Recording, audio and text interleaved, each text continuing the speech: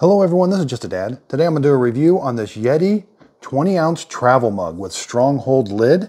Now this is the canopy green color. So I really do like these stronghold lids. When they're closed, you do have to press down just a little bit on the lip here and it'll slide right back. Now to close it, you just close it. You do have to screw them on. They're just a quarter inch screw. So you can screw it in for a left-handed or a right-handed person. Again, it looks very nice. Now what I really like is you can take this apart for cleaning. Just lift this up a little bit right here. It's held on with a magnet.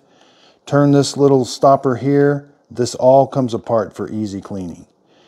Reassembly is very easy. Put that in, turn it, and then this is a magnet. So now we can slide it back and forth. So there's what the inside looks like. It's got a, just a really nice handle. Size-wise, drink holder fit into two and three quarters with a three inch taper Overall length is right at seven and a half. Up here, you're looking at about three and a half. I really do like this Yeti Rambler with stronghold lid. Thanks everybody for watching.